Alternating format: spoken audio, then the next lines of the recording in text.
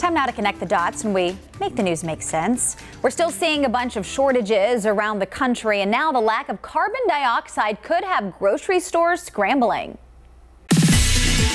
A shortage of carbon dioxide can have a really big impact on our food. Let's connect the dots. A shortage of CO2 is already having beer makers concerned. But now a new report from the Wall Street Journal shows it will soon impact everything from meat to pizza makers. Tyson and Oscar Mayer are now being forced to search everywhere for the gas. That's because the biggest CO2 suppliers are limiting deliveries. And according to reports from Kraft, it's now warning retailers there could be a major shortage of turkey cold cuts and other sliced meats. But there is a bit of good news. Some experts say supplies of the gas should return to normal around mid to late October. And that's connecting the dots.